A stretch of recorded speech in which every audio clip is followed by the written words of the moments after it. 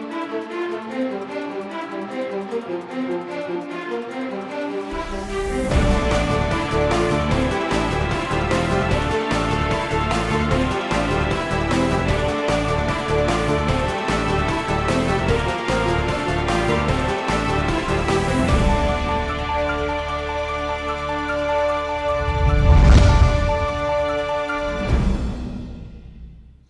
سلام. سلام به شما عزیزان در ایران و هر کجای دیگر جهان که در این ساعت به تماشای تفسیر خبر از شبکه تلویزیونی ایران فردا نشستید.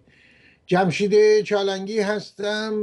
در جمعه شب ساعت 8 و سی دقیقه به وقت تهران و ساعت هفت بعد از ظهر به وقت اروپای مرکزی. یک بعد از ظهر به وقت واشنگتن ابری با شما خواهیم بود در تفسیر خبر. بررسی می‌کنیم آخرین خبرها در عرصه داخلی ایران به ویژه در عرصه اقتصادی و نیز آنچه که در زندانهای جمهوری اسلامی میگذرد و آخرین تحولات در ارتباط با برنامه اتمی جمهوری اسلامی را.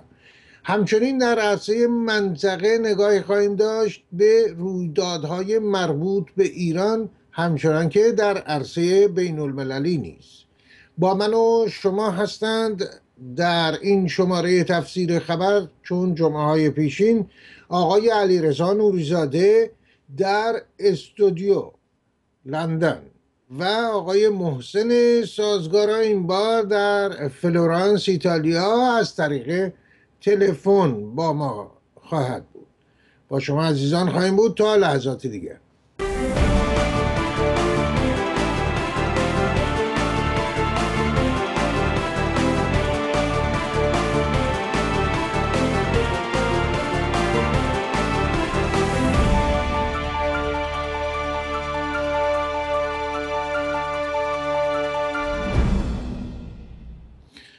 آقای نوریزاده عزیز سلام به شما. درود به جناب جمشید چالنگی عزیزم دکتر سازگارای نازنین و همه بینندگان تفسیر خبر در ایران فردا به ویژه در خانه پدری. آقای سازگارا سلام به شما در فلورانس. من هم عرض سلام و ارادت دارم خدمت شما آقای چالنگی آقای دکتر نوریزاده عزیز و همه بینندگان گرامی و عذرخواهی می‌کنم از اینکه با تلفن در خدمتتون هستم و احتمالا کیفیت صدای مکتوبی هم ممکنه نداشته باشه بله به هر حال فلورانس شهر بسیار دیدنی پر از آثار مهم نقاشی تاریخ جهان زمانی که میکلانجو داوینچی در اونجا کار کردن؟ هیچ وقت فکر نمی‌کردن. روزی روزگاری ما ایرانی ها از اون شهر برای ایران برنامه تفسیر خبر داشته باشیم و یکی از مهمانان ما در این شهر باشیم آقای نوریزاده عزیز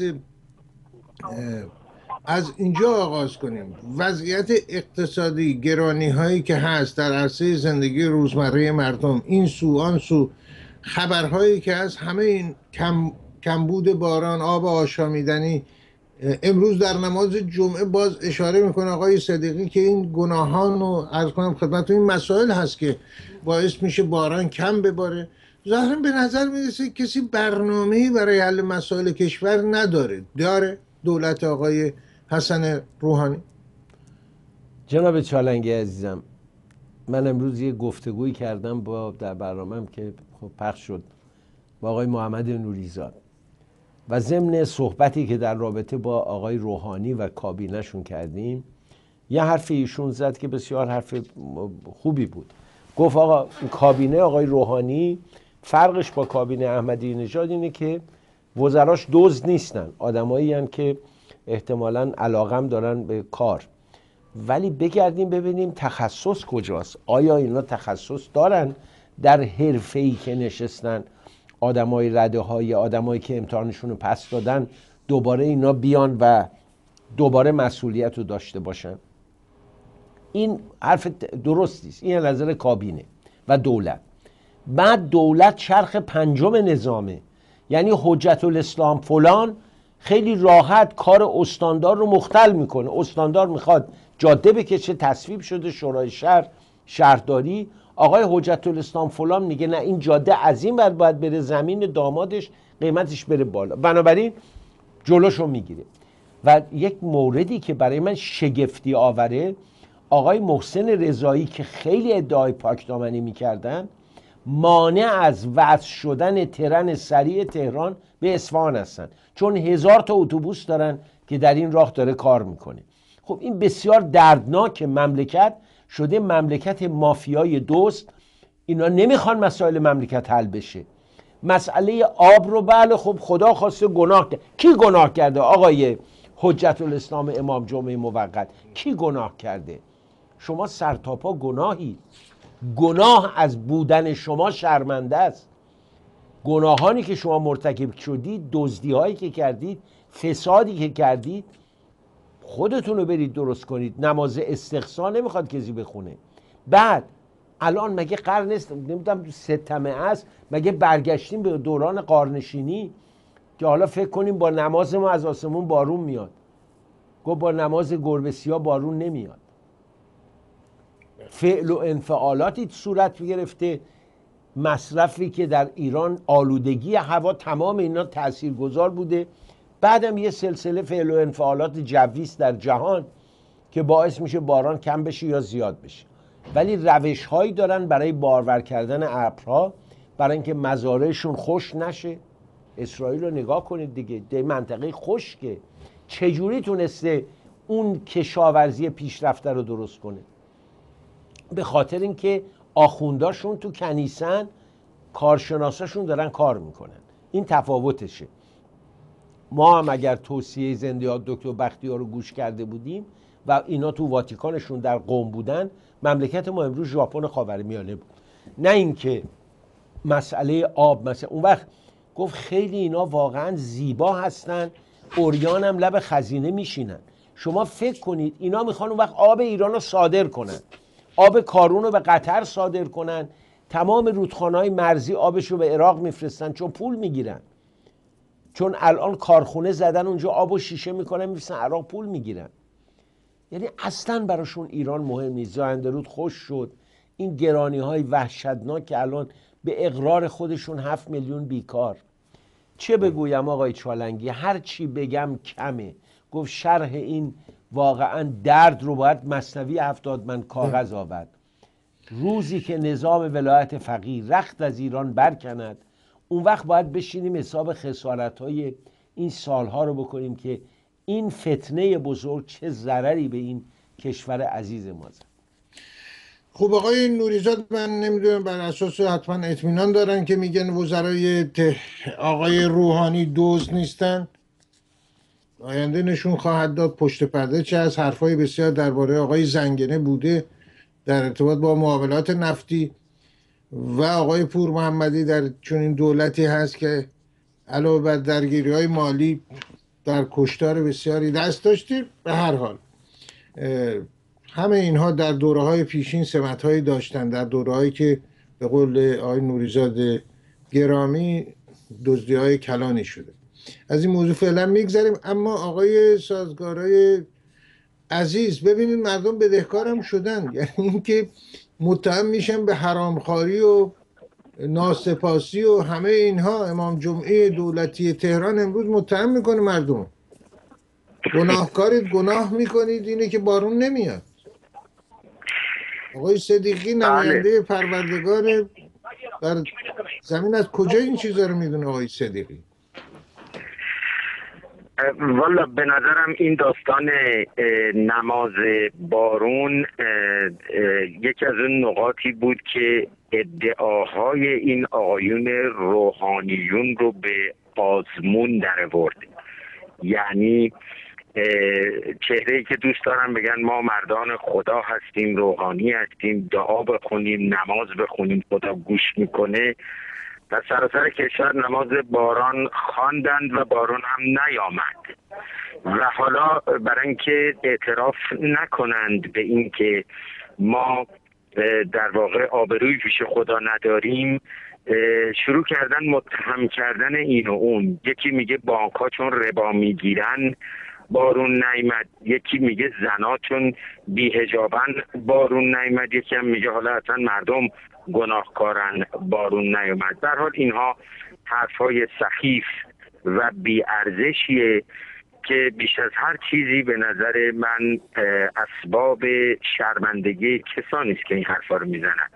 اما در عرصه اجرا که واقعیت این است که این امور رو باید با برنامه ریزی حل بکنن وزارت نیرو عنوان کرده که 25 درصد آب کشاورزی رو در سال آینده باید کاهش بدن تا مشکل آب رو مدیریت کنن ولی نگفته این کار رو چگونه می‌خوان بکنند و چه پلنی دارن برای اینکه چه برنامه دارن برای اینکه مصرف آب رو بهینه بکنن.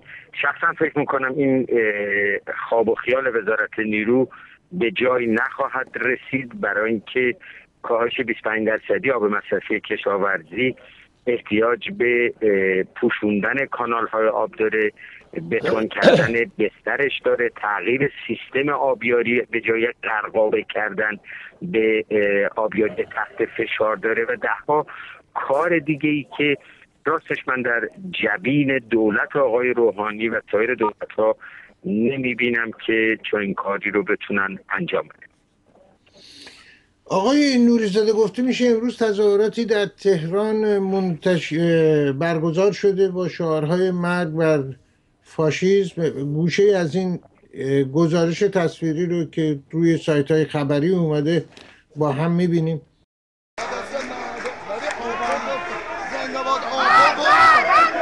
مرگ بر ارتجا! مرگ بر ارتجا! مرگ بر ارتجا مرگ بر ارتجا مرگ بر ارتجا مرگ بر ارتجا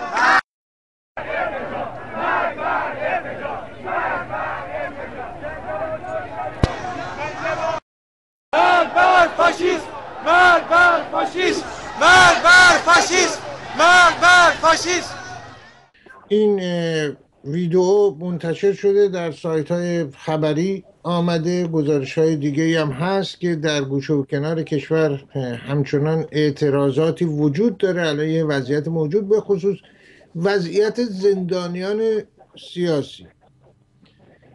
زندانیان عقیدتی سیاسی. آقای نوریزاده پرسش این هستش که روند به هر حال اعدام ها بازداشت ها و الان هم باز گروهی رو بازداشت کردن در ارتباط با استفاده از اینترنت. این قرار کی متوقف بشه؟ مگر همین دولت دولت آقای روحانی وعده نکرده بود که متوقف خواهد شد؟ اما می‌بینیم افزایش پیدا کرده. چی هست قضیه؟ آقای چالنگی عزیزم وقتی آقای روحانی در امریکا میگه ما روزنامه نگار زندانی نداریم خب دیگه معلومه میزان مسئولیت ایشون چیه؟ به هر حال شخصی که رو به قبله بیت رهبری نماز می‌خونه انتظاری نمیشه ازش داشت که بیاد و راهگشا بشه. ببینید ساده ترین مسئله که رفع هست از آقای موسوی و کروبی بود و ایشون تلویحا در مبارزات انتخاباتی بعدش رو داد. بعد هم گفت این کار انجام نشد و حالا آقای نوبخت میگه این البته در دستور کار ما هست. دو سال گذشت و اینا هنوز در حسرن وای به حال اونایی که اسمشون موسوی و کروبی نیست. در این بیغوله های اوین و زندان و قزل حصار و دیگر جاها اسیرن. همین آیت الله کاظمینی بروجردی این آدم مبارز آزاده رو چقدر زجرش دادن. بردن برای اتاق ویژه اعدامی ها آزارش میدن. می‌خوام بگم ببینید آقای چالنگی رژیمی که این هنوز از یاد من نمیره دو هفته قبل. رژیمی که یک دانشور و یک اندیشمند رو. به خاطر اینکه در نوع قصه یونس شک می‌کنه. پیامبر بنی اسرائیل. حالا اینا که به حوسی هم یاد دادن روی شعاراشون می‌رسن لعنت و ابدی بر یهود. این رژیم اون وقت یه دفعه طرفدار حضرت یونس میشه. دیگه اینقدر اینا مهربانن و به خدا اعتقاد دارن یک انسان رو از حق حیات محروم می‌کنن. رژیمی که شما نگاه کنید برای یه بانویی که برای دفاع از ناموسش که اینا خیلی ناموس ناموس می‌کنن یک جنایتکار عضو سپاه پاسداران و سازمان وزارت اطلاعات رو کشته. چه بلایی سر این زن رو بردن؟ جوون مرگش کرد چه کارش کردن اینو تا امروز؟ و بعد نسبت به آدمای دیگه شما همینجوری دونه دونه نگاه کنید. رفتار و عملکرد این رژیم نسبت به اقوام ایرانی کشتن کردها کشتن عربها ایرانیان عرب کشتن ایرانیان بلوچ کشتن ایرانیان کرد. آخه یعنی یکی دوتا که نیست. رفتار با بهایی رفتار با یهودی ها هر جا شما نگاه کنید این رژیم به عنوان یک رژیم فاشیست و یک رژیمی که بوی انسانیت نبرده و ساده ترین مبانی حقوق بشر رو حرمت براش قائل نیست هست ظاهر میشه. و رئیس دستگاه قضاییش آقای صادق لاریجانی داماد کبیر مراجع مرجع اعظم ایشون اگر شما بگید یک ذره عواطف انسانی برخورداره نیست برای اینکه زیر دستگاهش می‌بینه چه خبره می‌بینه چه اتفاقاتی اونجا داره میفته و ایشون اصلا افتخارم می‌کنه. بعدم اظهاراتی یه وقتایی می‌کنن که آدم واقعا دود از سرش بلند میشه که یه همچی آدمی رئیس قوه قضایی است. یعنی یه همچی آدمی جای علی اکبر داور نشسته. یه همچی آدمی مقایسه باید بکنیم دیگه. اون داور میاد سیستم قضایی ما رو مدرن می‌کنه. این حضرات بعد از انقلاب اومدن نابودش کردن و دوباره دستگاه حاکم شهر رو برپا کرده. حالا هم یه حاکم شرع نادان جاهل بی ثبات و در عین حال ظالم که بویی از عدالت نبرده ریاست شده. انتظار چی داریم؟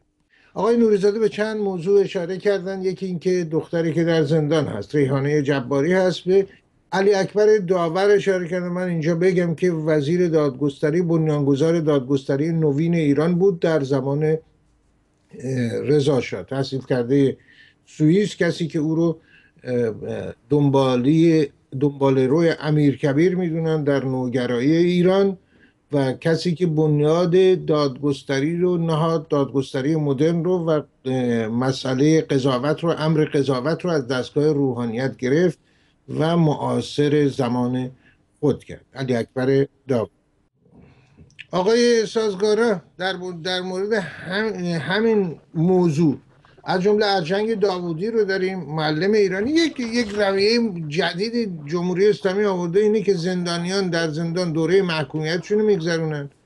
به ناحق بسیارشون محکوم شدن. یعنی همه زندانیان سیاسی عملا. بعد یا اعدام میشن مثل دهه 60 بیش از سه هزار نفر یا دوباره تجدید زندان میشن. مثل آقای امیر انتظام گرفته تا به ارجنگ داوودی می‌رسیم. خطر اعدام تهدیدش می‌کنه و بعد گزارش احمد شهید منتشر میشه. شما هیچ نه اثری و واکنش طلبکارانه دستگاه قضایی جمهوری اسلامی رو میشنوید. یکی از این لاریجانی های ریز و درشتی که هست جواد.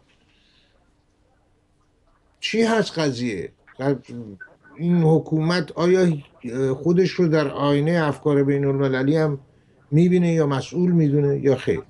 در حال در هفته گذشته آقای احمد شهید گزارشگر ویژه سازمان ملل در امور حقوق بشر ایران گزارش جدیدی رو مطرح کرده که در طی سه چهار ماه آینده در شورای حقوق بشر سازمان ملل مطرح خواهد شد. در این گزارش آقای احمد شهید مطرح کرده که بیش از 800 اعدام از تیر 92 تا تیر ماه 93 در ایران اتفاق افتاده و اعدام رشد کرده. وضعیت حقوق اقلیت ها و آزادی بیان هم علا رغم تعهد چهار سال قبل ایران کماکان بهبودی نداره و بدتر شده.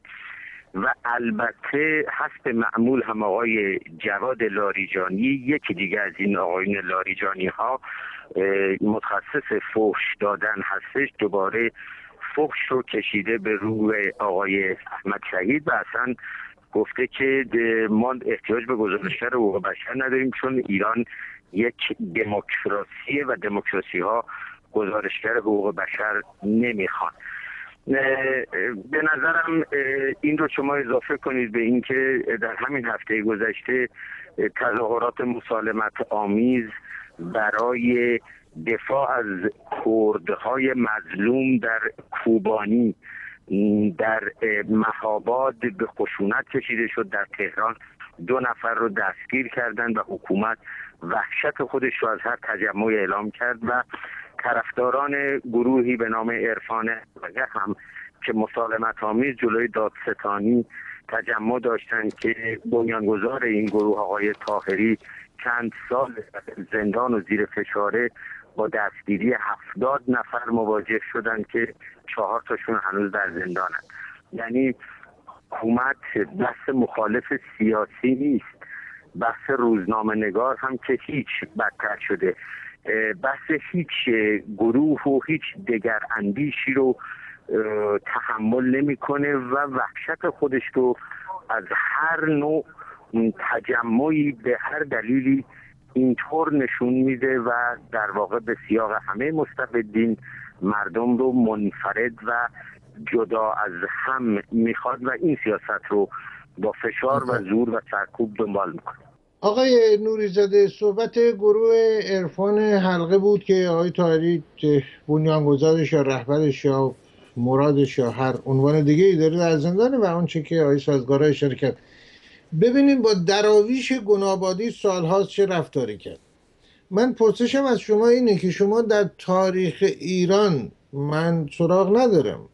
شما می‌پرسم که سراغ دارید که رفتار حکومتی رو با عرفا به این شکل گسترده با عارفان دراویش حالا در چه مقامی هستن از نظر طریقت یا به چه شکل هستن اونو خداوند می‌دونه و راهی که میرن از کسی نمی‌تونه بگی چون این رفتاری داشته باشه دراویش رو به زندان بندازن کتک بزنن می‌بینیم در تصاویر می‌بینیم که در بیمارستان به چه شکل هستن شما سراغ دارید؟ گفتم این در تاریخ ما معدود دوره های بوده. اون دوره ای که طریقت خشک مسلط میشه. دوران مثلا امیر مبارز الدین رو در فارس داریم زمان حافظ و گاهی در عثمانی. از این اتفاقا افتاده. ولی همیشه جامعه نیازمند عرفان بوده. همیشه جامعه نیازمند وجه تلطیف شده دین بوده. در همون دورانی که عثمانی ها در اوج اقتدار بودن صدها خانقاه در عثمانی آن زمان دایر بود. از جمله وقتی مولانا به اونجا میره در قونیه دلیل این بوده که اونطوری است. یا حتی شما در دوران که ایران به معنای یک کشور یک پارچه مفهوم پیدا می‌کنه بعد از حمله عرب ها که به حال دوران صفویه اوجش هست در اونجا می‌بینیم که باز در یه دوره های خشک مغزی که مسلط میشه زدیت با عرفان داره. ولی به هر حال صفویه معنای خودشون رو از مرشد کامل می‌گرفتند و طریقت دنبال طریقت بودن. ولی گاهی شریعت سایه مینداخت ولی هیچ زمانی در تاریخ ایران بعد از اسلام ما دورانی سیاهتر از این دوران نداشتیم. و دلیلش رو براتون میگم آقای چالنگی خیلی دلیل روشنیه. ببینید یک دکاندار دین این آخوندا پوست رو گرفتن و تاکید روی پوست دارن.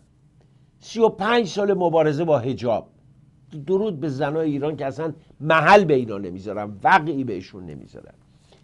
سی و پنج سال آقا ریش بذارید. ریش بذار چون اگه ریش نذاری خود جهنم میری.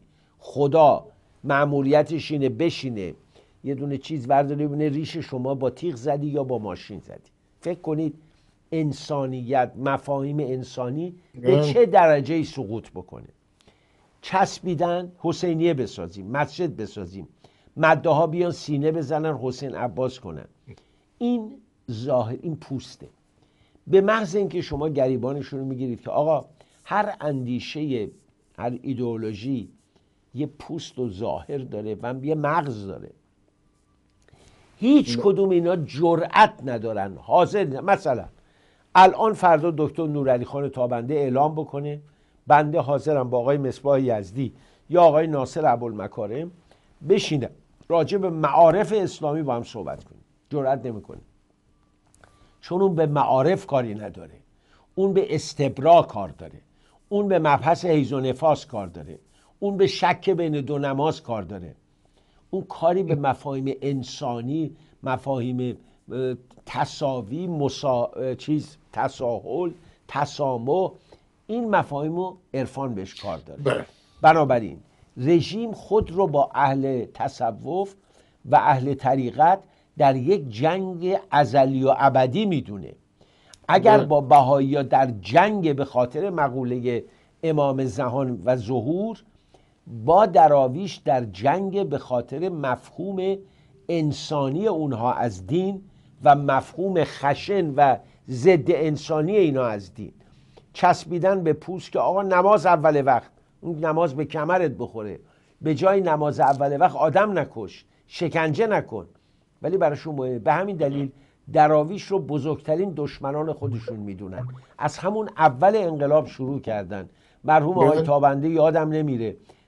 اذیتش کردن پسرش علی آقا رو اینا کشتن. تمام اینا رو این گنابادی ها کشیدن تا امروز و نهله های دیگه هم همینطور. نوربخش رو براش چه پروندی سازی ها کردن و از این قبیل چون اینا عرفان رو دشمن خودشون می‌دونن. و مثلا این آقای خامنه ای یه موقعی دنبال عرفان بود و اظهار ارادت به خانواده مقدادی اصفهانی می‌کرد و سر بر آستان گنبد سبز میسایید بله. آقای نوریزاده بعد اشاره هم کردن در این بخش از صحبتاشون راجع به کلماتی بعضی از بینندگان مشاهدت نمی‌دونن. استبرا و بقیه مسائل. من اینجا نمی‌تونم توضیح بدم. می‌تونید به علما مراجعه کنید. در علوم مربوط به استبرا بسیار نوشتن از آیت الله خمینی گرفته. بقیه مراجع تقلید کتاب های رساله ای که دارن در زمینه همین علوم هست. علوم مربوط به استبرا و بقیه مسائل مربوطه.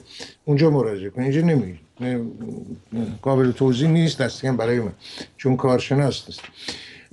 اما حرف منم همین بود آقای نوریزاده که به این شکل طولانی و به این شکل گسترده هم در زمان امیر مبارز الدین هم نبود. گو که بله، حافظی بله. نیست. در این زمان و نبوده و نخواهد بود. اما حافظ رو آنچنان بر سرش نیوردن به خاطر عرفان که بر سر این بندگان خدا در زندان ها بود. کاملا درسته. بله فقط استبرار یه توضیح بدید. مربوط میشه به به اصطلاح اصول و مبانی تخلیه. حالا اون دیگه بقیهش رو برید مطالعه بفرمایید. بله مشکل رو بیشتر نوریزاده. تخلیه مسکن هست. به هر حال آقای سازگاره عزیز در برابر این همه نقض حقوق بشر در ایران به نظر می‌رسه غرب منظور بیشتر دولت پرزیدنت اوباما هست. در واشنگتن آنچنان که باید سخنی نمیگه یا اقدامی انجام نمیده. یعنی همچنان دیپلماسی مماشات ادامه داره یا دیپلماسی لبخند هر چه که هست؟ به هر حال دولت آقای اوباما الان هوش و حواسش دنبال این است که بلکه این ماجرای هسته‌ای رو به جایی برسونه به عنوان تنها پیروزی خودش در منطقه خاورمیانه بتواند اون رو خرج بکنه و به کار ببره. ولی به همین دلیل هم خیلی کاری به کار بخشای دیگه ندارم. ولی این رو عرض رو کنم در ماه نوامبر ما انتخابات در امریکا رو شاهد خواهیم بود که اگر شش هفت کرسی که در مجلس سنا الان دموکرات ها بیشتر دارند تبدیل بشه به جمهوری خواه و اکثریت به دست جمهوری خواه بیفته در مجلس سنا هم آنچنان که در مجلس نمایندگان هم پیش بینی میشه جمهوری خواه کماکان اکثریت رو داشته باشن. اون وقت ترکیب دو مجلس احتمالاً فشار زیادی رو به آقای اوباما خواهد آورد. از جمله لایحه‌ای رو که سال گذشته مجلس نمایندگان 400 به 20 تصویب کرد ولی در مجلس سنا به زور دولت و نهایتا هم آقای حریری سناتور دموکراتی که رئیس مجلس سناست با نگذاشتنش در دستور جلوی اون رو گرفت احتمالا این لایحه به جریان خواهد افتاد. اگر در انتخابات نوامبر سنا رو هم جمهوری خواه بگیرن اون وقت در این حالت این لایحه بند یکش فصل اولش در واقع کاملا تاکید داره بر مسئله حقوق بشر. سی نفر رو در متن قانون اسم آورده که نفر اول شخص آقای خامنه است و گفته هم مشمول تحریم امریکان هم هر کسی در دنیا شخصیت حقیقی یا حقوقی که با این افراد و شرکت های وابسته و تابعشون معامله معاشرت بکنه مشمول تحریم امریکا خواهد شد.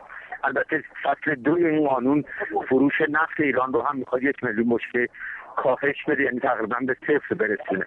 در حال باید به نظر من برای واکنش واشنگتن تا انتخابات ماه نوامبر آمریکا صبر کرد که ببینیم چه اتفاقی میفته انتخابات ماه نوامبر که اشاره کردن آقای سازگارا چهارم نوامبر قرار برگزار بشه. با شما عزیزان خواهیم بود در تفسیر خبر. از شبکه تلویزیونی ایران فردا لحظاتی دیگر پی خواهیم گرفت.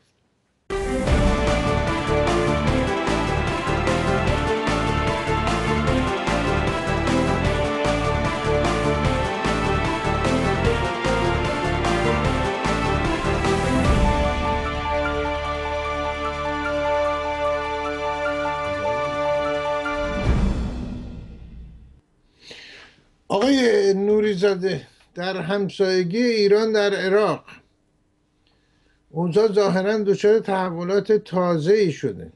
بله. نه چندان دیگه به سود داعش. ارزیابی شما رو میشتن بله به نظر من اصولا رفتن مالکی به اعتقاد من اولین ضربه بزرگ به داعش بود. تا زمانی که نوری المالکی بود داعش میدان عمل داشت.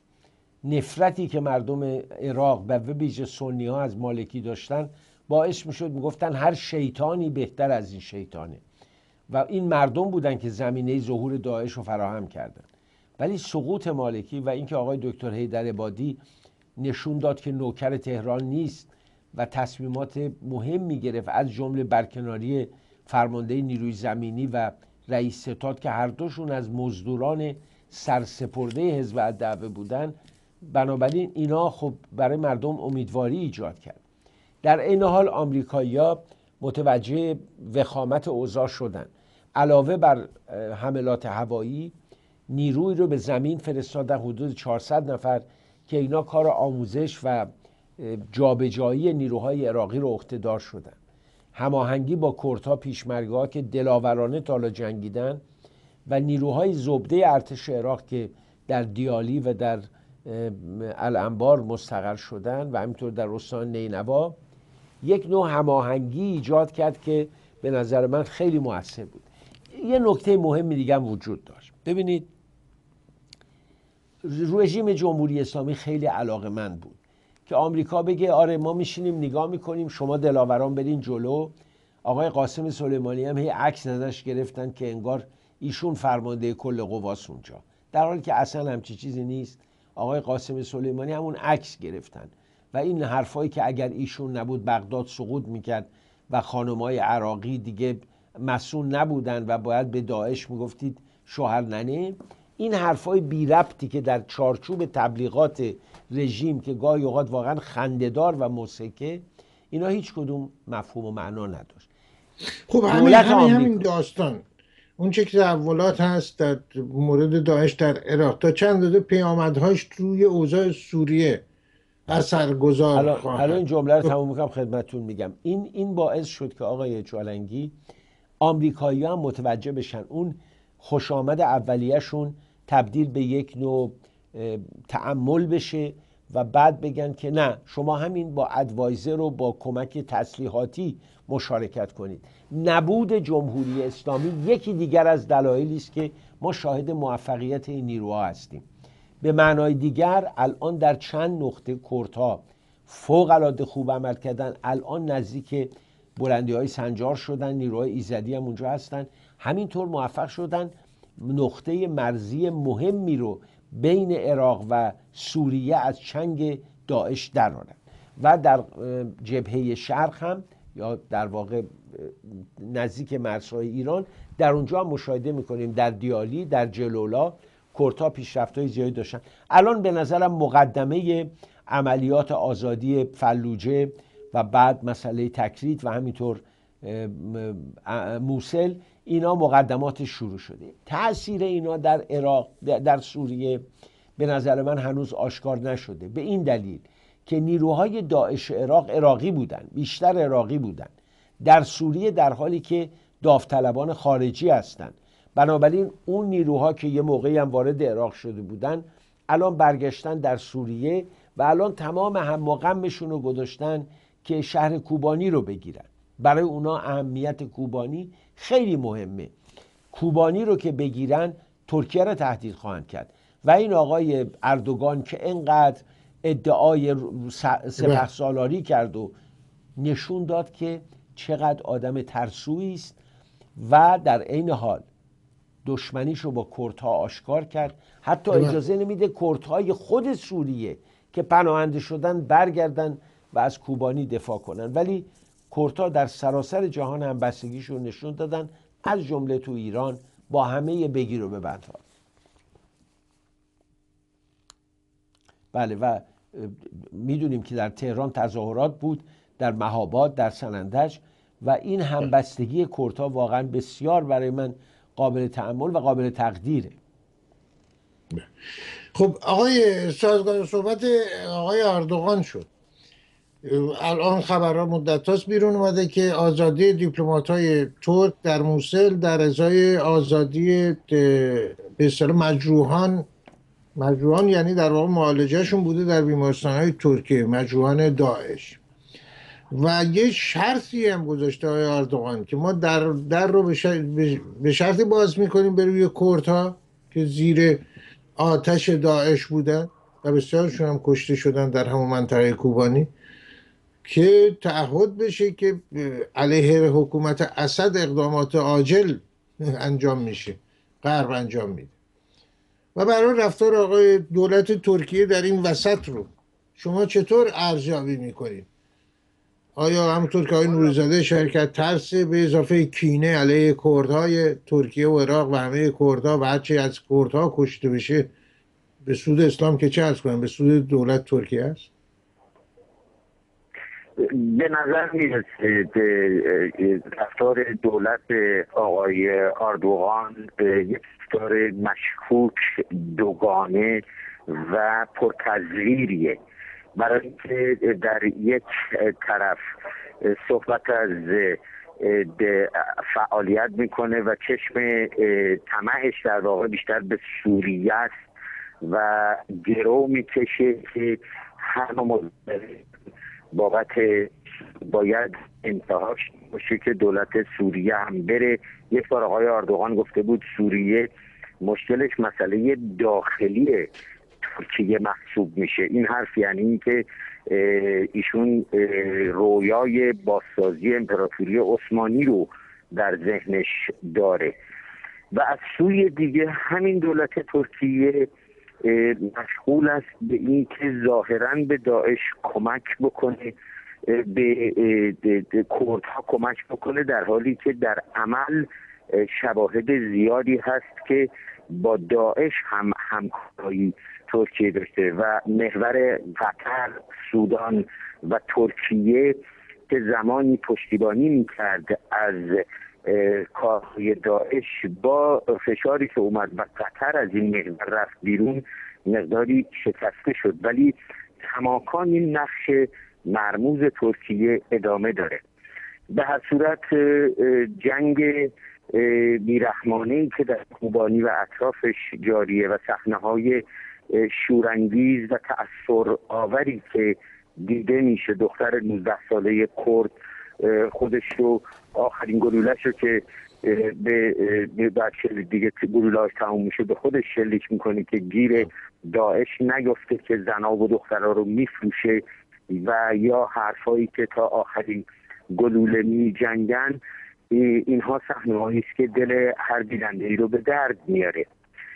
امریکا آقای جان کری دیروز اعلام کرد که استراتژی جدیدی ظرف دو سه روز آینده اعلام خواهد کرد که اینطور که از توضیحات ایشون برمیاد و من تفسیرهای خبری رو دنبال می‌کردن ممکن است که یک بازرزون یک منطقه ممنوعه پروازی سرانجام بخواهند که در شمال سوریه برقرار کنند که نیروهای اسد نیاد نیرو هواییش اپوزیسیون و مخالفین سوریه رو اونجا تقویت کنند. گفته میشه ممکنه این کار با همکاری ترکیه باشه. ولی هنوز معلوم نیست. راستش من شخصا نه چشمم از دولت آقای اوباما آب می‌خوره که بالاخره بخواد ارزامی بکنه نه از دولت ترکیه که عرض کردم نقش مرموز و چندگانه و پرتزیری بازی می‌کنه.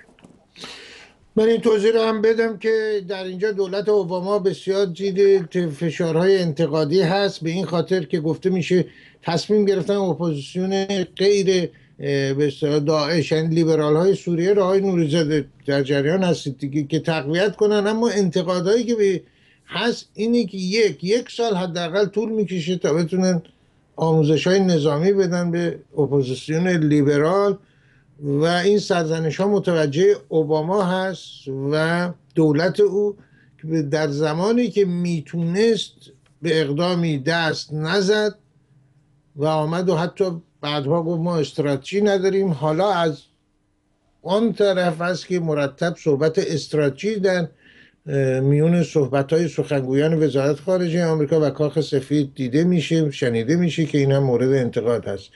سهل انگاری بوده یا مساله یا چه بوده؟ آنچه که دولت اوباما آقای نوریزاده در منطقه انجام داد یا نداد؟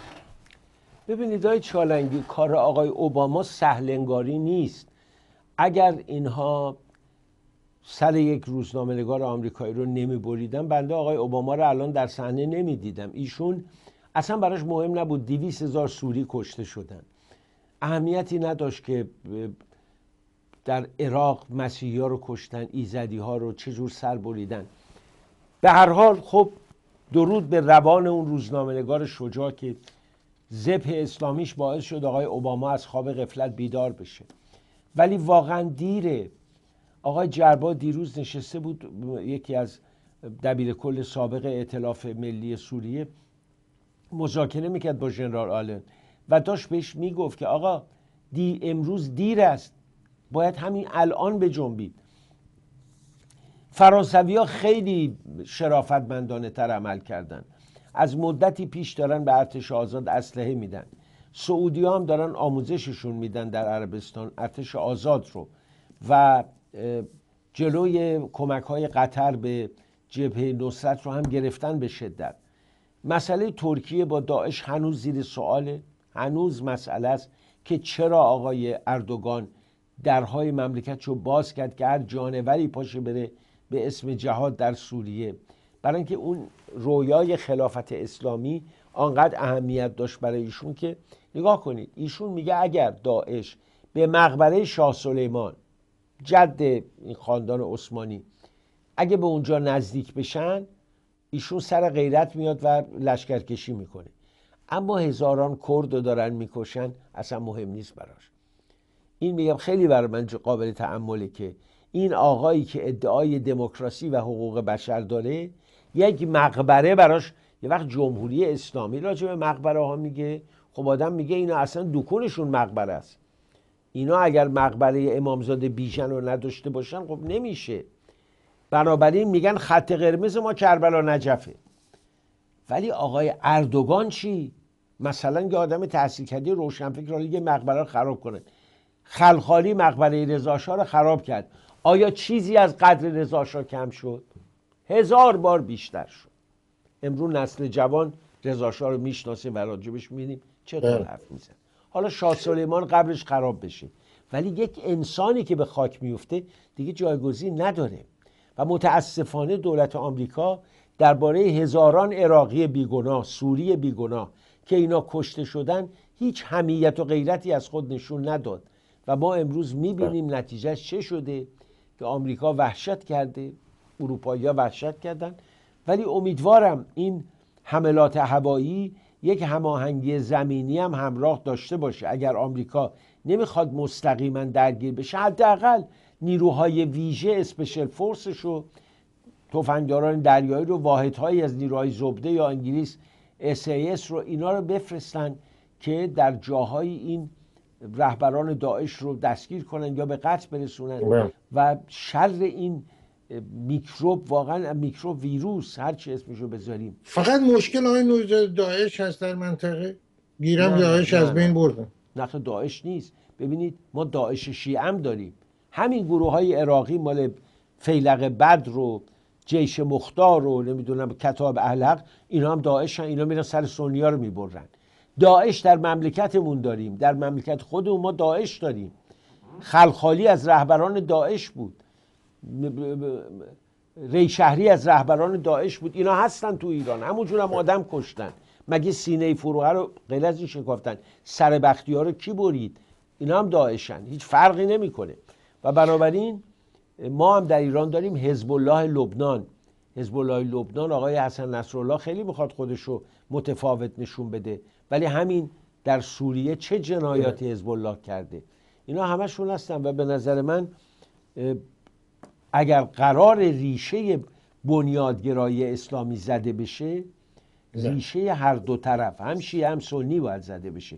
نه فقط سنی که فردا بگن این جنگ شیعه ها علیه سنی هست آقای نوزاده اشاره کرد روزنامه‌نگار آمریکایی نخستین روزنامه‌نگاری که سر بریده شد در منطقه توسط داعش. جیمز فولی بود و همون که اشاره شد که باعث بیدار شدن آقای اوباما شد و صحبتاش. اینجا آماری منتشر شد. آقای اوباما آمد بعد از اون قتل قتل فجی و سخنرانی کرد صحبتی کرد پیامی داد به قول اصطلاحی که رایج است بریفینگی که داشت.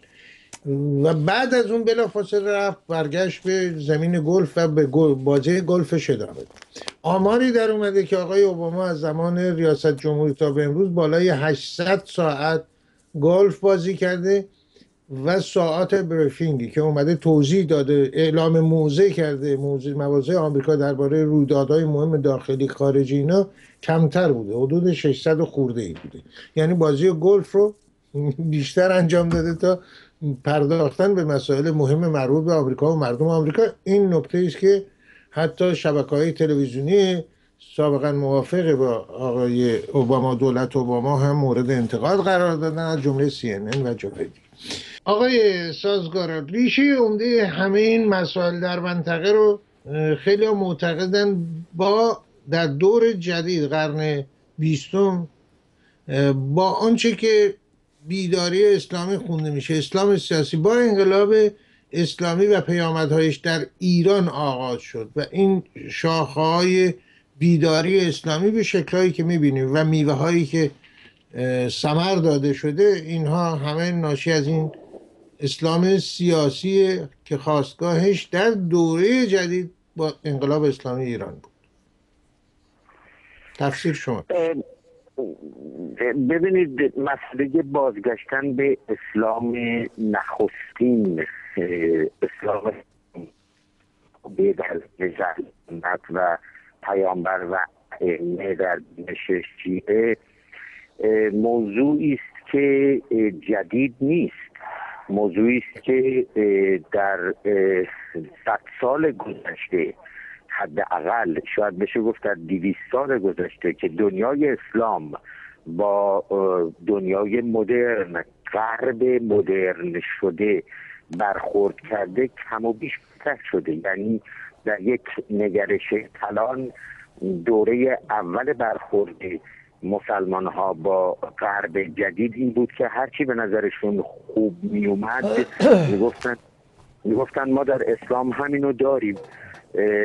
سید جمال الدین اسدآبادی شیخ محمد عبده و بنیانگذاران این نوع نگرش دنبال این بودن که مسائل علمی هرچی در غرب هست در اسلام و قرآن هم بهترش هست و شاید مهندس بازرگان رو با کتاب های اولیش بشه پیرو این مکتب دونست و کثیری از متفکرین اسلامی این رفتن که هرچی تو غربه بگن ما تو اسلام داریم. این متد شکست خورد. این متد عقیم بود برای اینکه نمی‌شد محصولات دنیای جدید چه علوم تجربه علوم انسانی رو به دین بار کرده از جمله به اسلام. دوره دوم در واقع دوره است که سیف قطب رو باید از بنیانگذارانش دونست با اون کتاب دورانساز جاهلیت قرن که ایشون نوشت. و گفت اصلا کی میگه ما باید به غرب برسیم؟ غرب جاهلیت قرن این بدن اینها جنایتکارن و کذا و این ما پشت می‌کنیم به همه این اونو میندازیم. دور میریم خودمون برمیگردیم به اسلام هستیم مترجم این کتاب سید قطب آقای خامنه ای به زبان فارسی. آقای خمینی شما به سخنرانی هاش رجوع بکنید. بسیاری از جملاتش عینا جملات سید قطبه. این تفکر آقای چالنگی در ایران به این معنی میشه گفت قبل بود که این تفکرش به قدرت رسید. اگرچه انقلابیون سال پنجاب و هفت یک مجموعه بود که خیلی ازشون فکر نمی کردن که با یک انقلاب چپگرای متأثر از در واقع انقلاب اکتبر شوروی سر از یک fundamentalism و بنیادگرای اسلامی در خواهند بود. ولی نتیجه ماجرا این شد که این بینش بینشی که نفی غرب و دنیای مدرن رو بکنه و بازگشت به اسلام شریعت مدار رو در دستور کارش قرار بده در ایران به قدرت رسید. این نقطه مهم شد که از اینجا بقیه های دنیای اسلام هم که شاید اقلیتی باشن ولی اقلیت خونریز و پرسر صدایی هستند از منشأ ایران تغذیه شدن تا همین امروز که حالا قرائت های مثل شد به رو آقای نوریزاده در همین دوره جدید حرف من هست. به قدرت رسیدن اسلام سیاسی و پیامدهاش در منطقه. آنچه که آقای خمینی انجام داد در ایران ایجاد امید برای خنجرهای زنگ زده خلافت و امامت و هر چی که بود و آمدن به عرصه منطقه با حاکمان شهر و خنجرهای تیز شده با امیدهایی که انقلاب اسلامی ایران برای اونها ایجاد کرد. چه سنی چه شیعه.